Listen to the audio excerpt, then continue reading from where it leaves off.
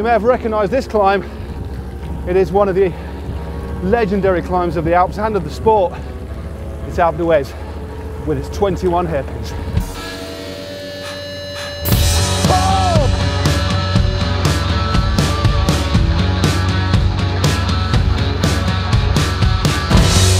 So, Alpe d'Huez. this is it. Kilometre zero. Wish us all the best. One of the most iconic climbs, I reckon, in the whole of cycling, Tom. Yeah, I've never done it before, Matt. Well, I'd rode it last in 1986.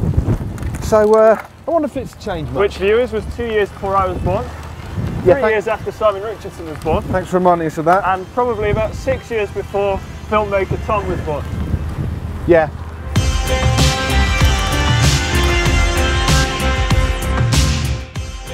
Well, hopefully we'll see the sun break through soon. The weather, as ever here in the Alps, remarkably changeable. Each hairpin on the d'Huez has a name and a number. We're on hairpin 18, which is named after Hennie Kuiper, who won in 1978, and Frank Schleck, who won more recently in 2006. The d'Huez has been used that many times in the Tour de France, and it's that popular that they're now having to double up on the names for each of the hairpins.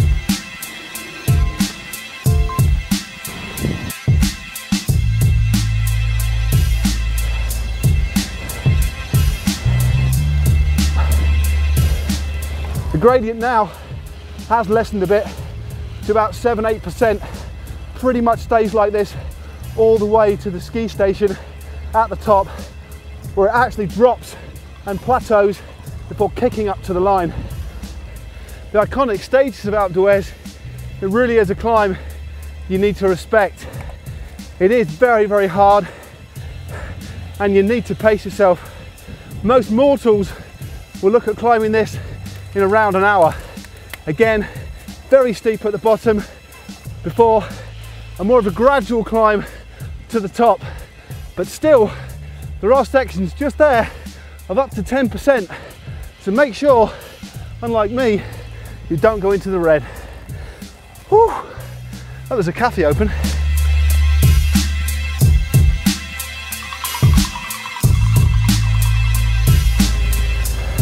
Alpe d'Huez was first used in the Tour de France way back in 1952 when six kilometres from the top Fausto Coppi attacked leaving behind his breakaway compatriot Jean Robic for a very famous victory that was actually televised for the first ever time.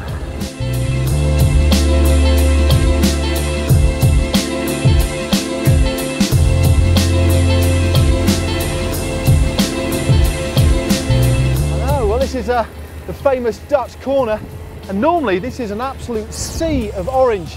Oh look, there's, a, there's, a, there's only one nutter in orange today. Oh fantastic, oh, I've got no bottles on either. Hey, nice one. Hey, hey. Oh!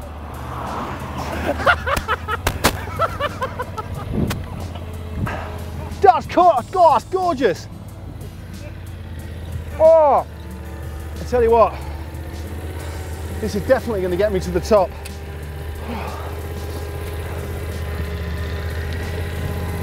Oh, God. Right, ready to roll.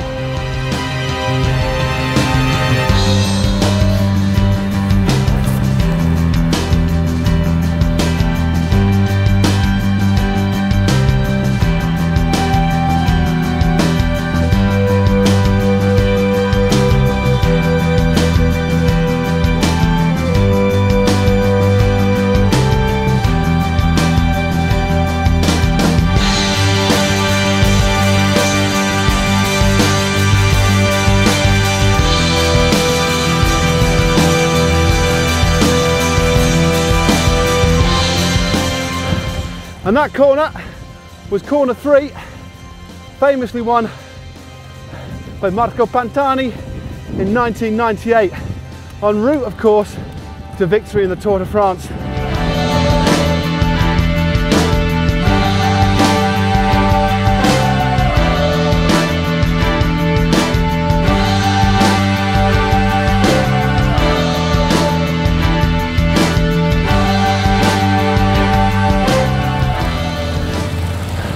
It's the famous little tunnel with a resort overhead. And at this point, as the riders emerged back into daylight, they can almost smell the finish line.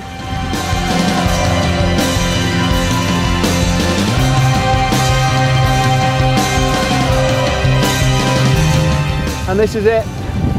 This is where, if you're solo, you can savour the moment. But if you're with a couple of other riders, it's a ferocious last couple of hundred metres to the line.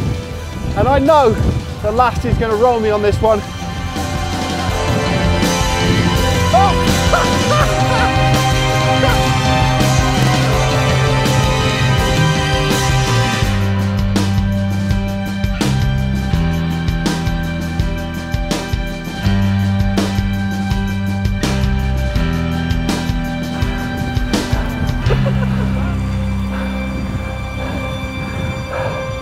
There you have it, Alpe d'Huez.